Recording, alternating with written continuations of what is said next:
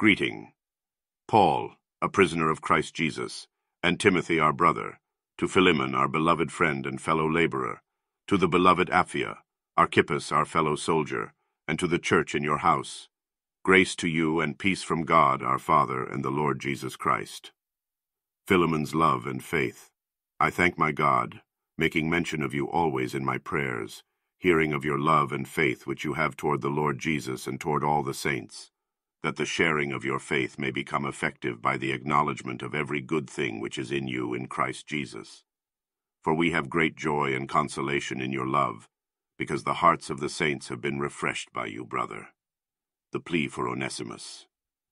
Therefore, though I might be very bold in Christ to command you what is fitting, yet for love's sake I rather appeal to you, being such a one as Paul, the aged, and now also a prisoner of Jesus Christ. I appeal to you for my son Onesimus, whom I have begotten while in my chains, who once was unprofitable to you, but now is profitable to you and to me. I am sending him back. You therefore receive him, that is my own heart, whom I wish to keep with me, that on your behalf he might minister to me in my chains for the gospel. But without your consent I wanted to do nothing, that your good deed might not be by compulsion, as it were, but voluntary.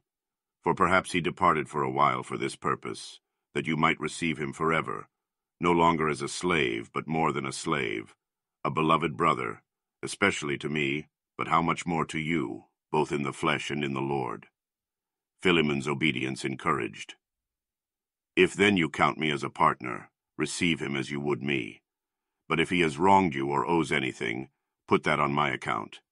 I, Paul, am writing with my own hand. I will repay, not to mention to you that you owe me even your own self besides. Yes, brother, let me have joy from you in the Lord. Refresh my heart in the Lord. Having confidence in your obedience, I write to you, knowing that you will do even more than I say. But meanwhile also prepare a guest room for me, for I trust that through your prayers I shall be granted to you. Farewell. Epaphras, my fellow prisoner in Christ Jesus, greets you, as do Mark, Aristarchus, Demas, Luke, my fellow laborers.